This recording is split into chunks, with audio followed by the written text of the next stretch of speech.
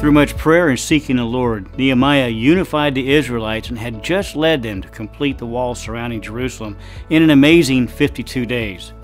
In chapter 7, we find Nehemiah now beginning to tend to a few housekeeping needs. The doors and gates are now finished, making the city even more secure. And with this added security, the Israelites could now worship God with more freedom and without fear of being attacked.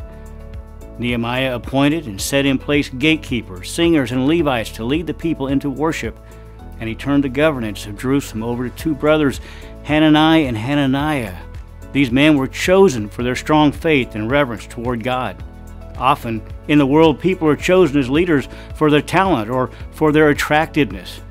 Not being a respecter of any man, God is not impressed with our skills or accomplishments.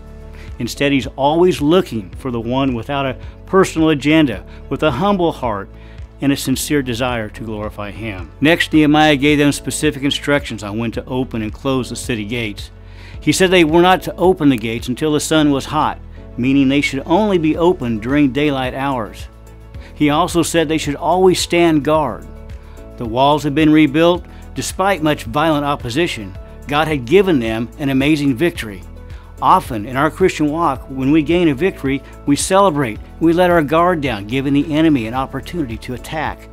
Nehemiah realized that although the walls were in place and the city was secure, they still had to place watchmen on the walls and in front of their homes. As Christians, we have God's protection.